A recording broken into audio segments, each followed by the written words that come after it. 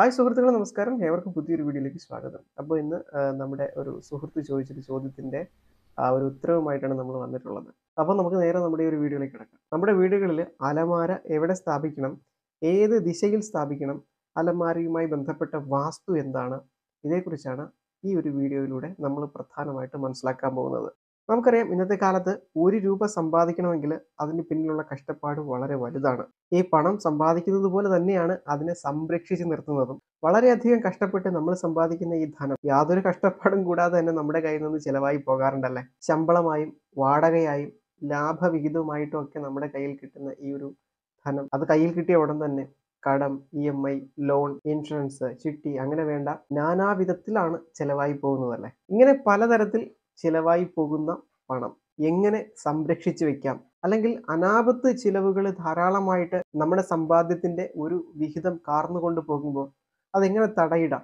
ഇതേക്കുറിച്ചാണ് നിങ്ങൾ ചിന്തിക്കുന്നത് എന്നുണ്ടെങ്കിൽ അതിനെക്കുറിച്ചാണ് നമ്മൾ ഇനി മനസ്സിലാക്കാൻ പോകുന്നത്. നമ്മുടെ വീടുകളിൽ ഈശാന കോൺ അല്ലെങ്കിൽ വടക്ക് കിഴക്ക് കോൺ ഈ ഒരു കോണിലാണ് നിങ്ങളുടെ വീട്ടിൽ നിങ്ങളുടെ അലമാര സ്ഥാപിച്ചിരിക്കുന്നത് എന്നുണ്ടെങ്കിൽ ഉടനെ തന്നെ ആ ഭാഗത്ത് നിന്ന് അലമാര എടുത്ത് മാറണം കേട്ടോ. എന്തെന്നാൽ ഈശാന കോൺ അതായത് വടക്ക് കിഴക്ക് കോണ് ജലത്തിന്റെതായ കോണാണ്. ജലം എപ്രകാരമാണോ ഒഴുകുന്നത്? അതുപോലെ ഈ ഒരു ഭാഗത്ത് സ്ഥാപിച്ചിരിക്കുന്ന അലമാരയിൽ നമ്മൾ പണം സൂക്ഷിച്ചാൽ അലമാര തന്നെ ആവണമെന്നില്ല കേട്ടോ. പണം സൂക്ഷിക്കുന്ന ചെറിയ മേശയോ പെട്ടിയോ ബോക്സോ എന്തായിരുന്നാലും ഈ ഒരു ഭാഗത്താണ് നമ്മൾ പണം സൂക്ഷിക്കുന്നത് എന്നുണ്ടെങ്കിൽ വെള്ളം എപ്രകാരമാണോ ഒഴുകിപ്പോകുന്നത്? അതുപോലെ നമ്മുടെ കയ്യിൽ നിന്ന് അനാപത്ത് ചെലവിലൂടെ പണം ഒഴുകിപ്പോയിക്കൊണ്ടിരിക്കും എന്നാണ് പറയപ്പെടുന്നത്. ഇനി തെക്ക് കിഴക്കേ മൂലയിലാണ് അല്ലെങ്കിൽ അഗ്നി കോണിലാണ് നിങ്ങളുടെ അലമാരയോ പണപ്പെട്ടിയോ നിങ്ങൾ സൂക്ഷിച്ചിരിക്കുന്നത് എന്നുണ്ടെങ്കിൽ ഉടനെ തന്നെ അഗ്നി കോണിൽ നിന്നും നിങ്ങളുടെ സമ്പാദ്യത്തെ അല്ലെങ്കിൽ ആ ഒരു പണത്തെ അവിടെ നിന്നും മാറ്റേണ്ടതാണ്. കാരണം തെക്ക് കിഴക്കേ മൂല അഗ്നി കോണാണ് അതായത് അടുപ്പ് സ്ഥിതി ചെയ്യേണ്ടുന്ന സ്ഥാനം. അഗ്നിയിൽ വീണ ഒരു വസ്തുവിന്റെ അവസ്ഥ അറിയാമല്ലോ. അതുടനെ തന്നെ സ്വാഹയായിട്ട് പോകും.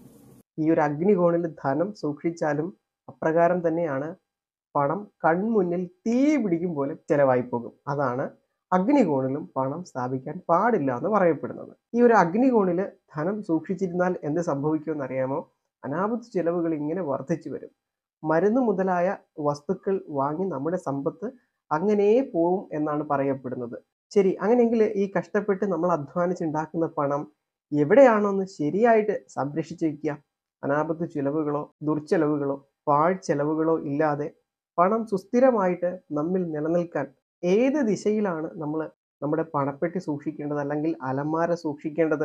പണം നമ്മുടെ കയ്യിൽ ഉള്ളുള്ള കാലം ഭദ്രമായി നിലനിൽക്കാൻ ദുർച്ചെലവുകളോ അനാപത്ത് ചെലവുകളോ ഉണ്ടാകാതിരിക്കാൻ എന്തൊക്കെ കാര്യങ്ങളാണ് നമ്മൾ ശ്രദ്ധിക്കേണ്ടത്? അതിലേക്കാണ് ഇനി നമ്മൾ മനസ്സിലാക്കാൻ പോകുന്നത്. വാസ്തുശാസ്ത്രം അനുസരിച്ച് നമ്മുടെ കഷ്ടനഷ്ടങ്ങളും തടസ്സങ്ങളും വിഘ്നങ്ങളും എല്ലാം ഒഴിവാക്കുന്ന ദേവൻ ആരാണ്? അത് വിഘ്നേശ്വരനല്ലേ അല്ലെങ്കിൽ വിനായകനല്ലേ? വിനായകൻ കുടികൊള്ളുന്ന കന്നിമൂലയിലാണ് അലമാരി സ്ഥാപിക്കേണ്ടത്. അതായത് നിര്യതി കോണിൽ. ഒരുപക്ഷെ നമ്മുടെ റൂം ഈ കന്നിമൂലയുടെ ഭാഗത്തായിരിക്കില്ല. അങ്ങനെ ഉള്ളപ്പോൾ നമ്മുടെ റൂമിന്റെ കന്നിമൂല ഏതാണോ അവിടെയാണ് നമ്മൾ ഈ ഒരു അലമാര സ്ഥാപിക്കേണ്ടത്. ഇതിന് നിര്യതി കോൺ എന്നാണ് പറയപ്പെടുന്നത്. ഈ ഒരു കോണിലാണ് ഗണേശൻ അല്ലെങ്കിൽ വിഘ്നേശ്വരന്റെയും സ്ഥാനമായിട്ട് കൽപ്പിച്ചിരിക്കുന്നത്. നിര്യതി കോണിൽ അല്ലെങ്കിൽ കന്നിമൂലയിൽ നമ്മൾ നമ്മുടെ അലമാര സ്ഥാപിച്ചാൽ അനാപത്ത് ചെലവുകളോ ദുർച്ചെലവുകളോ മരുന്നിന് വേണ്ടിയിട്ട് അധികമായിട്ട് പൈസ സ്പെൻഡ് ചെയ്യേണ്ടിയോ വരില്ല എന്നാണ് പറയപ്പെടുന്നത്. ഇനി നമ്മൾ ഈ ഒരു കന്നിമൂലയിൽ അല്ലെങ്കിൽ ഈ ഒരു നിര്യതി കോണിൽ സ്ഥാപിക്കുന്ന അലമാരയുടെ ദർശനം എങ്ങോട്ടായിരിക്കണം? വടക്കോട്ട് ദർശനമായോ കിഴക്കോട്ട് ദർശനമായോ അലമാരി സ്ഥാപിക്കണം. നമ്മുടെ പണം സൂക്ഷിക്കുന്ന ഈ അലമാരയിൽ മറ്റു ദോഷങ്ങൾ ബാധിക്കാതിരിക്കാൻ ഇനി പറയുന്ന കുറച്ച് കാര്യങ്ങൾ ശ്രദ്ധിക്കണം കേട്ടോ. നമ്മുടെ പണപ്പെട്ടി സൂക്ഷിക്കുന്നതായിട്ടുള്ള അലമാരയിൽ നമ്മൾ ഒരു കഷ്ണം ഉണങ്ങിയ മഞ്ഞൾ വെക്കേണ്ടതുണ്ട്. വെറുതെ അല്ല ഈ ഒരു മഞ്ഞൾ കഷ്ണത്തെ നമ്മൾ വിനായകനായിട്ട് സങ്കല്പിച്ചാണ് വെക്കേണ്ടത്. മഞ്ഞൾ നമുക്കറിയാമല്ലോ അണുനാശ സ്വഭാവമുള്ളതാണല്ലേ? അപ്പൊ ഇത് സ്ഥാപിക്കുന്നതിലൂടെ ഒരുവിധം ബാക്ടീരിയകളോ ഫംഗസോ അങ്ങനെയുള്ള കാര്യങ്ങളൊന്നും ഈ ഒരു ഭാഗത്തേക്ക് അടുക്കില്ല. അലമാരിയിൽ നമ്മൾ പണം സൂക്ഷിക്കുന്ന പെട്ടി വെക്കുന്നതിന് മുൻപ് മഞ്ഞ നിറത്തിലുള്ളതായ തുണി വിരിച്ച് അതിന് മുകളിൽ വേണം നമ്മൾ നമ്മുടെ പണം സൂക്ഷിക്കുന്ന പണപ്പെട്ടിയോ നമ്മുടെ പേഴ്സോ അതുപോലെ തന്നെ നമ്മുടെ ബാങ്ക് പാസ്ബുക്ക് നമ്മുടെ എ ടി എം ഇങ്ങനെയൊക്കെയുള്ള കാര്യങ്ങൾ സൂക്ഷിക്കേണ്ടത്. ഇനി ഈ ഒരു ഭാഗത്തേക്ക് നമ്മുടെ ഈ ഒരു പണപ്പെട്ടി വെക്കുന്നതിന് മുൻപ് വിനായകനെ സങ്കല്പിച്ച് ഒരു മഞ്ഞൾ കഷ്ണം വെക്കണമെന്ന് പറഞ്ഞല്ലോ അതിനുശേഷം മഞ്ഞ തുണി വിരിക്കണം എന്ന് പറഞ്ഞല്ലോ അവിടെ ഒരു കാര്യം കൂടി ചെയ്യണം. മഹാലക്ഷ്മിയുടെ ഒരു ചിത്രം അല്ലെങ്കിൽ ചെറിയൊരു കാർഡ് ആ ഒരു ഭാഗത്ത് ഏത് ദിക്കിനെ ദർശനമായിട്ടാണോ നമ്മൾ അലമാര വെക്കുന്നത് ആ ഒരു ദിക്കിലേക്ക് ദർശനം വരുന്ന രീതിയിൽ നിങ്ങൾ സ്ഥാപിച്ചു വെക്കണം. ഇതിലൂടെ നിങ്ങളുടെ പണപ്പെട്ടിയിൽ പണം കുന്നുകൂടിക്കൊണ്ടിരിക്കും. അല്ലെങ്കിൽ ഈ ഒരു മഹാലക്ഷ്മി ആകർഷിച്ചു കൊണ്ടിരിക്കും നമുക്കറിയാം നമ്മുടെ ഹിന്ദു വിശ്വാസം അനുസരിച്ച് പണത്തെ അല്ലെങ്കിൽ ഐശ്വര്യത്തെ ആകർഷിക്കുന്ന ദേവതയാണ് മഹാലക്ഷ്മി എന്നത്. അപ്പൊ ഇങ്ങനെയാണ് നമ്മൾ സമ്പാദിച്ച പണത്തെ സൂക്ഷിക്കുന്നത് എന്നുണ്ടെങ്കിൽ ഒരു തരത്തിലുമുള്ള അനാപത്ത് ചെലവുകൾ ഉണ്ടാകില്ല എന്നാണ് വിശ്വാസം എന്നാണ് പറയപ്പെടുന്നത്. പിന്നെ ശ്രദ്ധിക്കേണ്ടുന്ന ഒരു കാര്യം ഈ ഇരിക്കുന്ന പണത്തിൽ നിന്ന് നിങ്ങളുടെ ദൈനംദിന ആവശ്യത്തിന് ഒരിക്കലും പണം ചിലവാക്കരുത്. അപ്പോൾ പിന്നെ എവിടെ നിന്നാണ് നമ്മൾ ഈ ഒരു ദൈനംദിന കാര്യങ്ങൾക്ക് പണം ചിലവാക്കേണ്ടത്?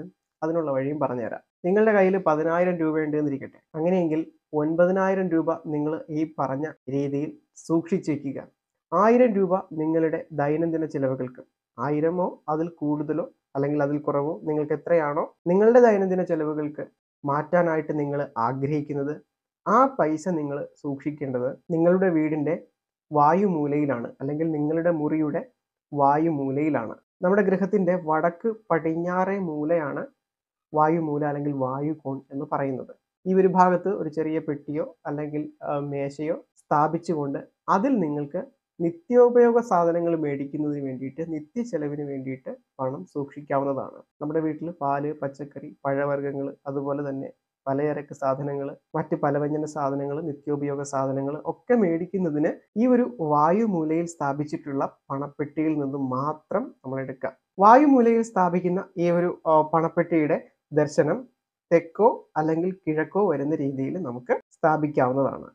പണം സൂക്ഷിക്കുന്ന കാര്യത്തിൽ നമ്മൾ ഇത് ഫോളോ ചെയ്യുകയാണെന്നുണ്ടെങ്കിൽ നമുക്ക് യാതൊരു തരത്തിലുമുള്ള ദുർച്ചെലവുകൾ ഉണ്ടാകില്ല എന്ന് വാസ്തു നിർദ്ദേശിക്കുന്നു. നമ്മൾ ഈ ഒരു വീഡിയോയിൽ പറഞ്ഞ ഈ ഒരു ചെറിയ ചെറിയ അഡ്ജസ്റ്റ്മെന്റുകൾ അല്ലെങ്കിൽ മാറ്റങ്ങൾ നിങ്ങൾ വരുത്തുകയാണെന്നുണ്ടെങ്കിൽ അടുത്ത ഒരു വർഷത്തിനകം നിങ്ങൾക്ക് കഴിഞ്ഞുപോയ വർഷത്തെക്കാൾ കൂടുതൽ സാമ്പത്തിക ഭദ്രത കൈവന്നിട്ടുള്ളതായിട്ട് അനുഭവപ്പെടും. ഇത് പരീക്ഷിച്ചറിഞ്ഞ സത്യമാണ്. ഈ പറഞ്ഞ കാര്യങ്ങൾ നിങ്ങൾ ഫോളോ ചെയ്യുകയാണെന്നുണ്ടെങ്കിൽ വളരെയധികം കഷ്ടപ്പെട്ട് നമ്മൾ സമ്പാദിക്കുന്ന ധനത്തെ സംരക്ഷിച്ചു നിർത്താൻ ദുർച്ചെലവുകളോ പാഴ്ചെലവുകളോ ഇല്ലാതിരിക്കാൻ വളരെയധികം സഹായകരമാകും എന്നുള്ളതിൽ ഒരു സംശയം വേണ്ട. ഇതിനൊക്കെ വളരെ നിശിതമായിട്ട് വിമർശിക്കുന്ന ഒരു വിഭാഗം നമുക്ക് ചുറ്റുമുണ്ട്. അപ്പോൾ അവരോട് എനിക്ക് പറയാനുള്ളത് നിങ്ങൾക്കിത് ഫോളോ ചെയ്യാൻ താല്പര്യമില്ല എന്നുണ്ടെങ്കിൽ നിങ്ങൾ വിട്ടേക്കുക. നിങ്ങൾ നിങ്ങളുടേതായ രീതിയിൽ നിങ്ങളുടെ പണത്തെ സംരക്ഷിക്കുക. പക്ഷേ ഞാൻ എന്റെ സുഹൃത്തുക്കളോട് നമ്മുടെ ചാനൽ സബ്സ്ക്രൈബ് ചെയ്തിട്ടുള്ള സുഹൃത്തുക്കളോട് പറയുന്നു ഇത് ഏറ്റവും അടിപൊളി ഒരു മെത്തേഡാണ്. സാമ്പത്തികമായ സ്ഥിരത കൈവരിക്കുന്നതിനും ഭദ്രത ഉറപ്പാക്കുന്നതിനും ഈ പറഞ്ഞൊരു രീതിയിൽ നിങ്ങൾ ധനം സംരക്ഷിക്കുമെങ്കിൽ ധനം സൂക്ഷിക്കുമെങ്കിൽ അത് എല്ലാ വിധത്തിലുമുള്ള ഐശ്വര്യത്തെ നിങ്ങൾക്ക് പ്രദാനം ചെയ്യും. അടുത്തൊരു വീഡിയോയിൽ വീണ്ടും കാണാം. നന്ദി.